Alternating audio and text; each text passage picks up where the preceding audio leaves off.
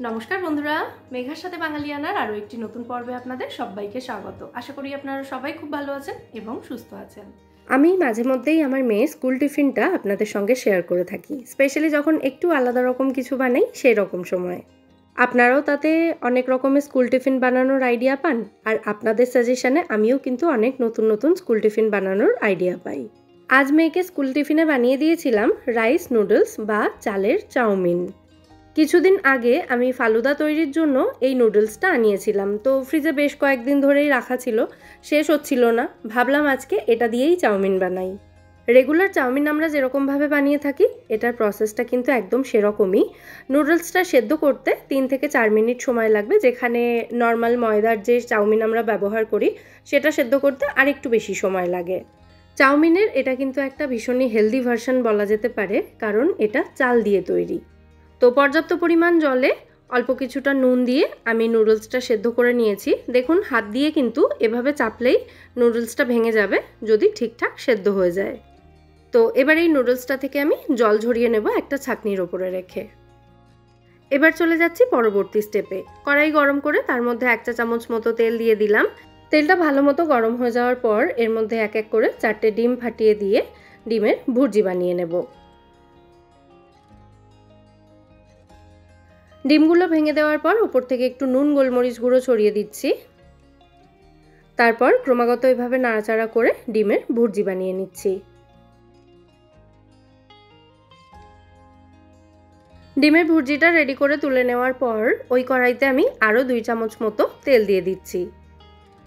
তেলটা ভালো মতো গরম করে নেওয়ার পর এর মধ্যে দিয়ে দেব লম্বা টুকরো করে কেটে রাখা গাজর এবং বিনস। সামান্য একটু নুন ছিটিয়ে দিচ্ছি, তারপর বিনস আর গাজরটা একটু ভেজে নেব। খুব বেশিক্ষণ ভাজতে হবে না, মোটামুটি মিনিট দুয়েক ভাজলেই কিন্তু যথেষ্ট।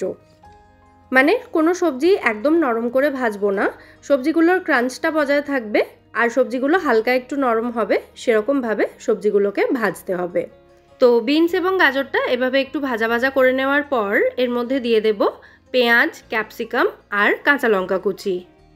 একটা মাঝারি সাইজের পেঁয়াজ, একটা ছোট ক্যাপসিকামের অর্ধেকটা এবং স্বাদ অনুযায়ী কাঁচা লঙ্কা কুচি এখানে আমি দিয়ে দিলাম।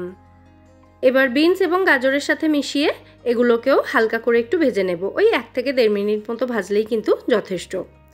সমস্ত সবজি আমি ভালো করে ভেজে নিয়েছি। এরপর এর মধ্যে দিয়ে দিচ্ছি স্বাদ অনুযায়ী নুন এবং গোলমরিচ গুঁড়ো।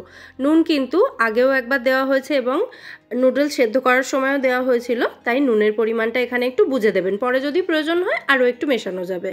আর গোলমরিচ গুঁড়ো অবশ্যই যে যা স্বাদ অনুযায়ী দেবেন। নুন গোলমরিচ গুঁড়ো দেওয়ার পর ভালো করে মিশিয়ে নিয়ে তারপর সেদ্ধ করে রাখা নুডলসটা এর মধ্যে আমি দিয়ে দিলাম। এবার সমস্ত উপকরণ খুব ভালো করে নাড়াচাড়া করে একটু মিশিয়ে নিচ্ছি। গ্যাসের ফ্লেমটা কিন্তু এই সময় মিডিয়াম টু হাইতে রেখেছি। মানে পুরো রান্নাটাই মোটামুটি মিডিয়াম টু হাই ফ্লেমে রেখেই করতে হবে। ভালো করে মিশিয়ে নেওয়ার পর তৈরি করে রাখা ডিমের ভুর্জিটাও এর মধ্যে দিয়ে দিলাম, দিয়ে আবারও সমস্ত উপকরণ ভালো করে মিশিয়ে নিচ্ছি। সামান্য একটু স্প্রিং অনিয়ন কুচি দিয়ে দিলাম, যদি বাড়িতে থাকে দেবেন, না হলে দেওয়ার প্রয়োজন নেই। আরও সামান্য একটু নুন দিয়েছি এবং হালকা একটু মিষ্টি দিয়ে দিলাম। ওই হাফ টিস্পুন মতোই গুঁড়ো করা মিছরি এখানে আমি দিয়েছি। এবার আবারও সমস্ত উপকরণ খুব ভালো করে নাড়াচাড়া করে মিশিয়ে এটাকে দু থেকে তিন মিনিট মতো হাই ফ্লেমে রেখেই ভেজে নিচ্ছি। একে তো এই নুডলসটা চাল দিয়ে তৈরি, তাই ময়দার নুডলসের তুলনায় বা রেগুলার চাউমিনের তুলনায় এটা কিন্তু অনেকটাই হেলদি অপশন আর এই নুডলসটা বানাতে কিন্তু তেল অনেকটাই কম পরিমাণে লাগে। আর নর্মাল চাউমিন কিন্তু ঠান্ডা হয়ে যাওয়ার পর খেতে খুব একটা ভালো লাগে না, তাই আমি মেয়েকে স্কুল টিফিনে দিতে পারি না, কারণ ওর পছন্দ নয় খেতে। ওই ঠান্ডা চাউমিনটা আর কি। আর এই রাইস নুডলসটা খেয়ে বাড়িতে এসে বলেছে কিন্তু টিফিনে খেতে এটা খুব ভালো লেগেছে, ওর এবং ওর বন্ধুদেরও। তো আপনারাও চাইলে কিন্তু বাড়ির বাচ্চা বা বড়োদেরকে স্কুল, কলেজ বা অফিসের টিফিনে অনায়াসে এই হেলদি চাউমিন বানিয়ে দিতে পারেন। মেয়েকে স্কুল টিফিনে দেওয়ার পর হাজব্যান্ডের অফিসের জন্যও কিন্তু আমি এটা একটু প্যাক করে দিয়েছিলাম।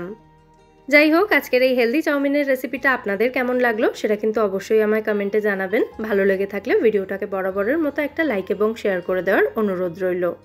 আবার দেখা হবে আপনাদের সঙ্গে পরের পর্বে নতুন কোনো রেসিপির সাথে। সবাই সুস্থ থাকবেন, ভালো থাকবেন এবং সবাইকে খুব ভালো রাখবেন। নমস্কার।